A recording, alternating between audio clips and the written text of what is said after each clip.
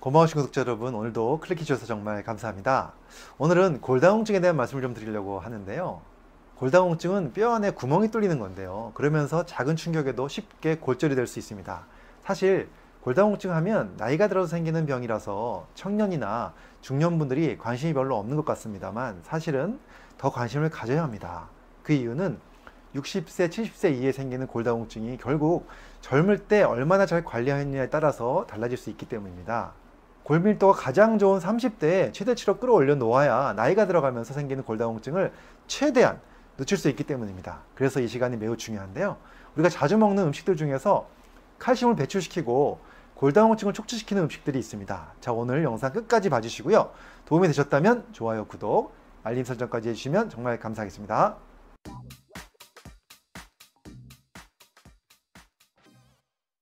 안녕하세요. 교육하는 의사 이동환입니다. 골다공증을 부르는 음식 그 첫 번째는 바로 과도한 카페인입니다. 자, 카페인은 칼슘 흡수를 방해하고요. 또 이뇨작용을 하면서 소변에서 칼슘을 빠져나가게 합니다. 그래서 2016년 대한 골다공증 학회의 지침에 따르면요.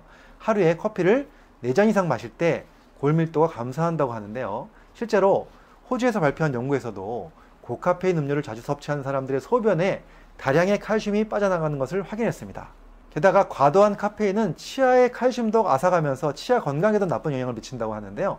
카페인을 과도하게 섭취하면 치아를 지지하는 뼈인 치조골 골밀도를 감소시키는 것으로 알려져 있습니다. 그래서 정말 우리가 카페인이 많은 커피를 많이 드시면 안 될 것 같고요. 그래서 아시는 분들은 많이 아시겠지만 제가 전국민 카페인 줄이기 일환으로 개발한 닥터블랙 커피, low 카페인 커피가 있습니다.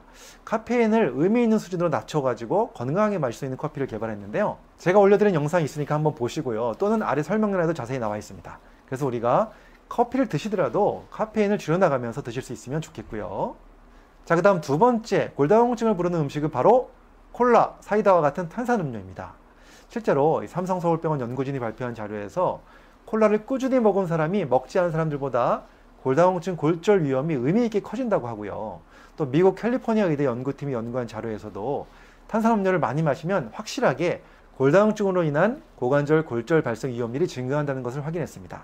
그 이유는 탄산음료에 들어있는 인산 때문인데요. 인산이 장에서 칼슘 흡수를 방해하고 또 뼈 손실을 증가시킬 수 있다고 합니다. 또 콜라에는 인산뿐 아니라 카페인도 들어있거든요. 그래서 콜라도 많이 마시면 카페인에 있어도 골다공증 위험이 증가할 수 있다는 것 알아두시면 좋겠습니다. 자, 그 다음 골다공증을 부르는 음식 세 번째는 바로 과도한 나트륨이 함유된 음식인데요. 우리가 흔히 먹는 뭐 젓갈류라든가 또는 짬뽕, 또 라면, 치킨 등입니다.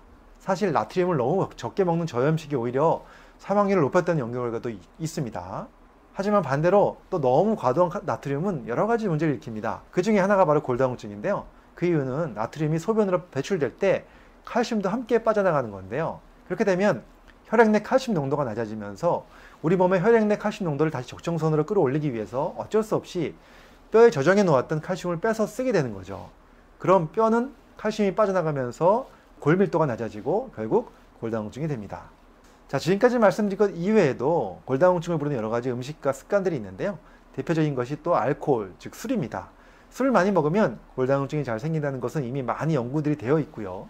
또 흡연도 마찬가지입니다. 그래서 남성들의 골다공증은 술과 흡연이 큰 영향을 준다고 알려져 있습니다.